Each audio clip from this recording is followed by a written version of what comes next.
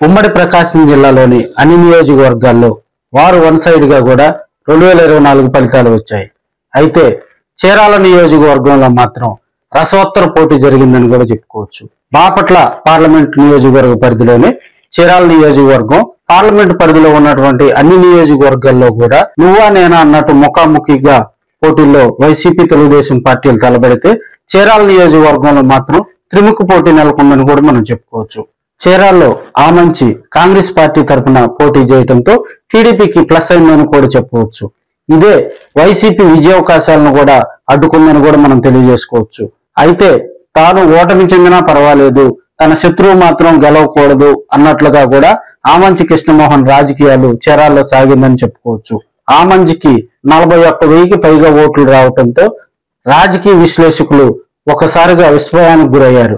ఒకవైపు తెలుగుదేశం పార్టీ మరోవైపు వైసీపీ ఆర్థిక బలం అంగబలం ఉపయోగించి కూడా దాదాపుగా ఈ ఎన్నికల్లో రాష్ట్రం మొత్తం ఉత్కంఠభరితంగా సాగుతున్న తరుణంలో చీరాల్లో మాత్రం కాంగ్రెస్ పార్టీకి నలభై ఒక్క వెయ్యి ఓట్లు రావడంతో రాష్ట్ర వ్యాప్తంగా కాంగ్రెస్ పార్టీ తరపున పోటీ చేసినటువంటి అభ్యర్థులు మొత్తంలో కూడా ఎవరికి కూడా ఇంత మెజార్టీ రాకపోవడంతో రాజకీయ విశ్లేషకుల్లో మాత్రం చీరాల నియోజకవర్గంపై పూర్తి స్థాయిలో చర్చ నడుస్తుందని కూడా చెప్పవచ్చు.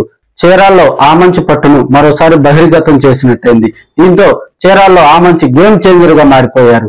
ఎంఎం కొండ యాదవ్ కూటమి తరపున బరిలో దిగారు. అదేవిధంగా వైసీపీ తరపున కర్ణం వెంకటేష్ బరిలో ఉన్నారు.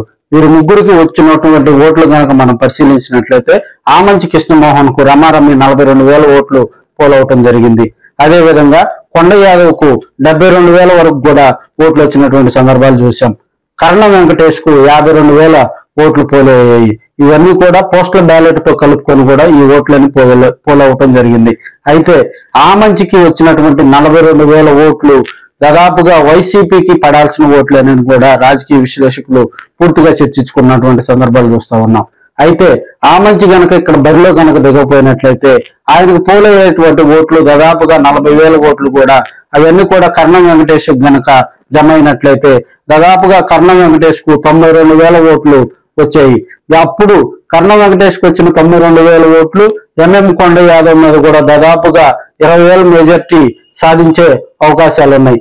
ఒకసారిగా ఆమంచి కృష్ణమోహన్ కాంగ్రెస్ పార్టీ తరఫున పోటీ చేయడంతో కర్ణ వెంకటేష్ ఇరవై వేల మెజార్టీతో ఓడిపోవాల్సినటువంటి పరిస్థితి ఏర్పడింది. ఏది ఏమైనప్పటికీ కూడా ఏపీ అంతటా ఒక నినాదం నడిస్తే చీరాల్లో మాత్రం త్రిముఖ పోటీల్లో ఎన్ఎం కొండయ్య విజయం సాధించారు. తెలుగుదేశం పార్టీకి కూడా ఇక్కడ విజయావకాశాలు దక్కడంతో అభిమానులు ఫుల్ ఖుషి అయ్యారు. విజయం ఇంటి ముంగిటి దాకా వచ్చి దాదాపుగా కర్ణ అభిమానులు అయితే డేలా పడ్డ పరిస్థితి ఏర్పడింది. తాను గెలవపోయినా పర్వాలేదు. శత్రువు మాత్రం ఓటమి పాలవ్వాలని ఆమంచి కృష్ణమోహన్ శపథం చేసిన సందర్భాలు మనం చూశాం. కాగల కార్యం గంధర్వులే తీర్చారన్న ఆనందంలో ఎంఎం కొండయ్య ఉన్నాడు. కాలం కలిసి వస్తే ఇలానే ఉంటుందేమో మరి.